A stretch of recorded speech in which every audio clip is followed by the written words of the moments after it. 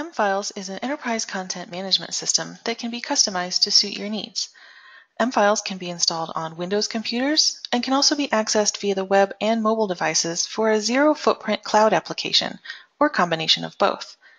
The full application is integrated into the Windows Explorer functionality, so it gives users a familiar look and feel for navigation. What you see here is the M-Files home screen when you first log in. The main workspace offers quick access to a variety of frequently used items, such as documents or items you may have recently accessed, items that are assigned to you for completion, and items that you have checked out to work on. The pinned section to the right can be used as a virtual bulletin board for saving links to your own personal collection of items or searches that are most important to you. Items can be pinned or unpinned as your work dictates. Shortcuts to these areas are available at the top as you navigate throughout the application, and your workspace is customizable to your preference, so you can show or hide panels as desired. The Browse section contains views, which are pre-configured saved searches that are dynamically updated based on the metadata, also known as assigned properties or keywords, of the documents. Some of these come included with the application, while others are customized based on your requirements. At its core, M-Files document management is based on what a document is rather than where it resides in your system. This means you never have to remember where you saved something as long as you know any of its assigned properties or keywords. Let's take a look at an example. Let's say you need to look at someone's emergency contact information. There are a few ways to get to it. First, let's take a look in the Personnel Documents folder. Here we have a listing of different document types, and emergency contact information is where we want to go. Next, we are presented with a list of employees who have an emergency contact form on file, and we need Lucy's, so we'll go there. And here we have her form. Once we click on it, we'll see the metadata for this document in the right panel. These are the keywords and properties that allowed us to drill down into the saved search to find her form. Let's talk for a minute about the metadata, or the keyword properties on the documents. The kinds of keyword fields that are available on each document is fully customizable. Some system standard metadata fields, such as created date or last modified, will be applied across the board, while other metadata fields can be applied as necessary. Let's go back to the home screen. We've seen one way that we can get to Lucy's emergency contact form, but let's look at a different one. This time we'll go into our Employee Documents Active section. Now this shows us all of our active employees right off the bat. Here's Lucy, so we'll go into her file.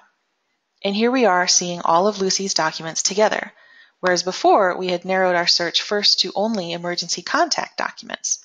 This time we've started with the employee filter, and so we are seeing all of Lucy's available documents together. Here is her emergency contact form. It's the same document. It's not saved in two different places in the system. It's just two different ways to access it. Let's go back to the home screen. And instead of going into any of these saved searches, let's just do a quick keyword search up here in the search bar. It's a lot like Google. You can just type in keywords and M-Files will do the heavy lifting to find this document. So here we have Lucy's emergency contact form, and you'll notice that M-Files has highlighted the keywords in the file name, and if we look over here in the metadata panel, the keywords are highlighted here as well. We can also click Preview to see a quick HTML version of the file, and you'll see the search items are highlighted here in the contents of the file as well. M-Files will do this for any kind of searchable file type, such as Word or Excel documents, as well as searchable PDFs. As you can see, there are a variety of ways to get to the documents that are important to you. How you access the documents will depend on your own preferences and work styles, and we can customize M-Files to work how you work best. Let's talk about ways to add documents to M-Files. Depending on what's most convenient for you, there are a variety of ways to get documents into the system. First of all, let's say you have a handful of documents already saved somewhere, maybe on your desktop or in a network folder. We'll just select the documents we'd like to add and drag them right into the application. M-Files then will prompt us to fill in the metadata card for the document so that we can add the associated keywords that we can use to find this document in the future. The first property that we'll assign is the class, which is generally known as the document type. This is the top-level categorization of the document that we are adding to M-Files.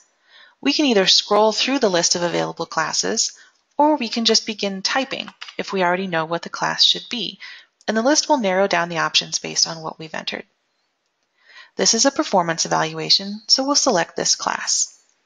You'll notice that the metadata fields changed once we selected a class.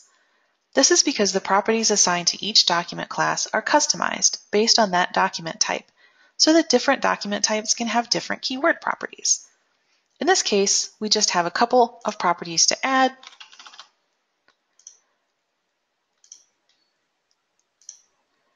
for the employee and the date. Clicking Create now saves and checks the document into M-Files. Another option to add documents is from within a Microsoft Office program itself, such as Word or Excel. Because M-Files is fully integrated with Microsoft Office, we can save documents without having to interact directly with the M-Files application. If you'll notice here in this job description, we have an M-Files tab here on the ribbon, and selecting that gives the option to save to M-Files. We just need to select the appropriate vault. I have a few options here in my demo environment, Typically, there's only one option here in a live installation. And M-Files then prompts for the metadata for this document. Just like in the other method, we just need to classify the document and enter the appropriate keyword properties.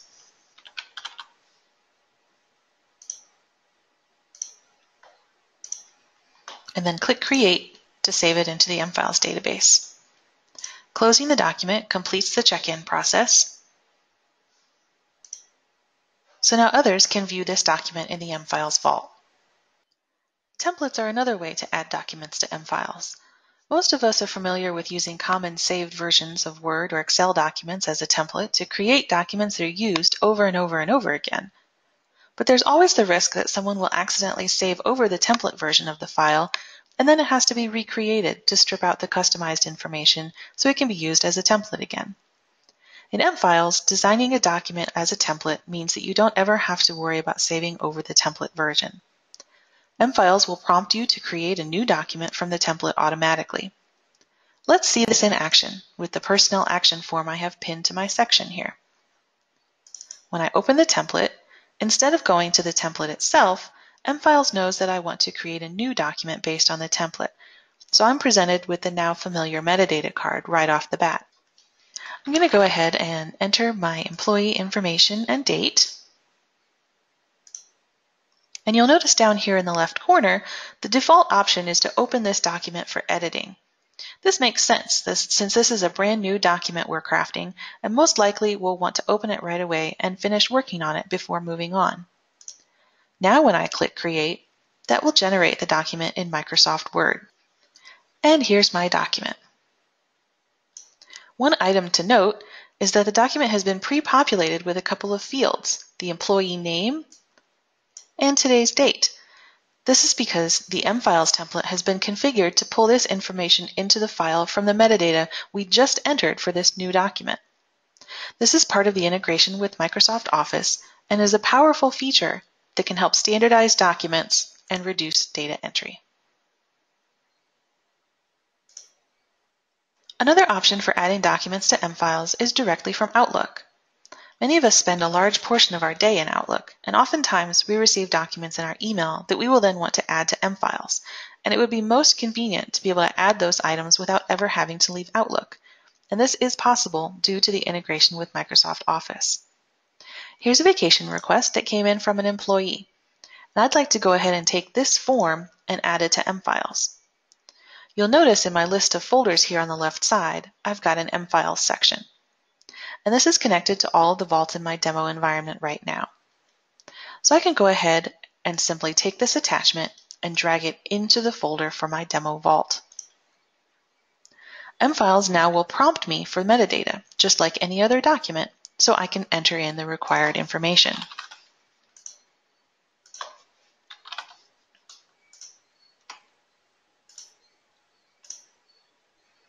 After clicking Create, we can flip over to M-Files and see that this document now shows up in my Recently Accessed by Me section because I just created this document.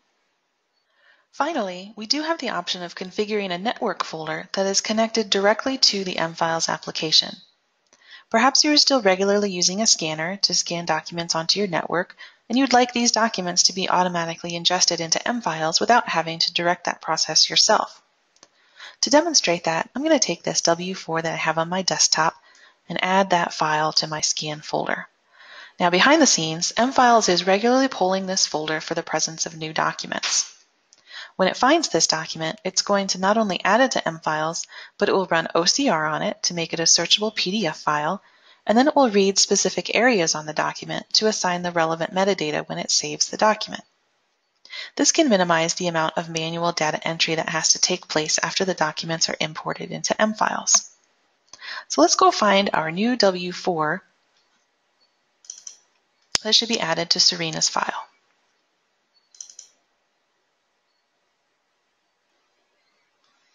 And here we find it. And notice M-Files has applied the employee name and date to this file already.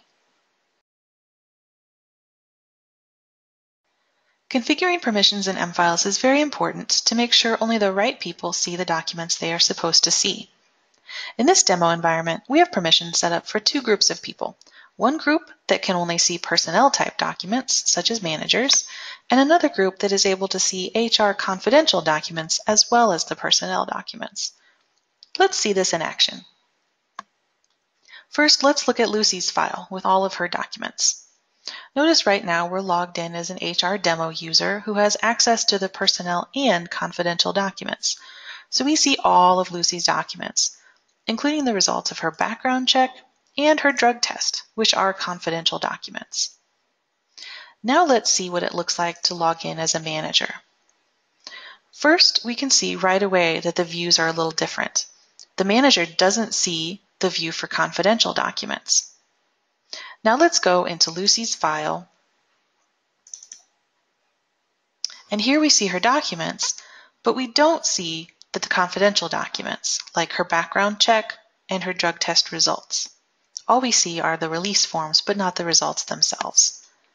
This is just one example of how M-Files can ensure documents are only visible to the right people. It's important to not only be able to store documents and data in M-Files, but you want to be able to use that data as well as be easily accessible. Customizable views can harness your data so that you always have what you need at your fingertips. For example, in this demo environment, we've configured a section of views called Reports, which contain a lot of useful information that you might need. Not only can we look into views that give us data on employees that might have actions that need to be taken, such as this 90-day report that indicates when a new hire's employee benefits kick in, but sometimes we need to see specific data and maybe export it, such as in this address, phone, and email information view. You can export the data from any view for further action or manipulation. Workflows in M-Files can help you work smarter, not harder, by taking advantage of a wide variety of automated routing, notifications, and assignment features. Workflows can be as simple or as complex as they need to be to line up with your business processes and even streamline them for increased efficiency. Let's look at a common process for reviewing candidate resumes. But before we even start in M-Files, let's see how we might automate getting those resumes into M-Files in the first place. Perhaps you have an email folder set up already in your Outlook where you collect all the resumes that come in. Through the Outlook integration, we can connect that folder to M-Files so that you never even need to interact with the emails yourself. They will automatically be entered into M-Files and kick off the workflow. Here I have an email ready to send that has a resume attached. I'm going to send this off, and we'll watch as the email shows up in my resumes folder to be ingested into M-Files.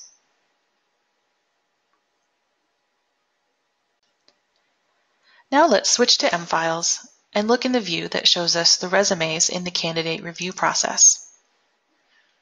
Here's the resume I've just sent in. Notice that we've configured M-Files to save both the email and the attachment as a connected file, so they are never separated from each other. and looking at the metadata shows that it has been entered into the received state.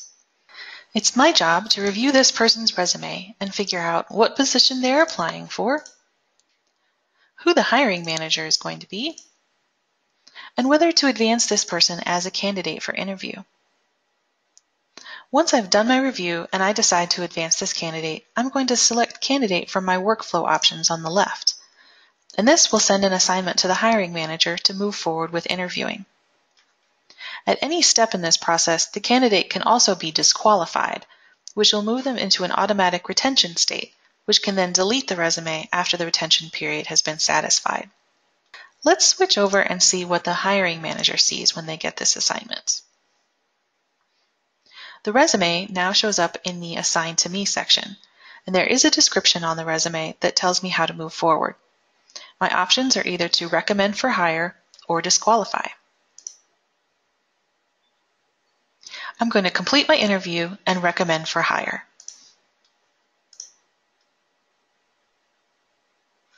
The resume is no longer assigned to me, so let's switch back to the HR manager to keep moving forward.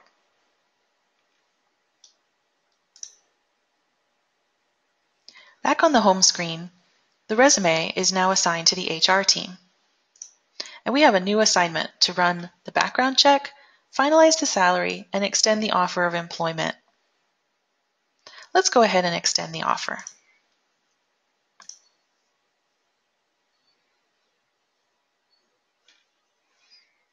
Now we have a new assignment that's dependent on whether or not the offer is accepted. If the offer is accepted, we need to go ahead and create the employee object in M-Files. So this resume can now be tagged to their file. We're going to go ahead and create the employee in M-Files.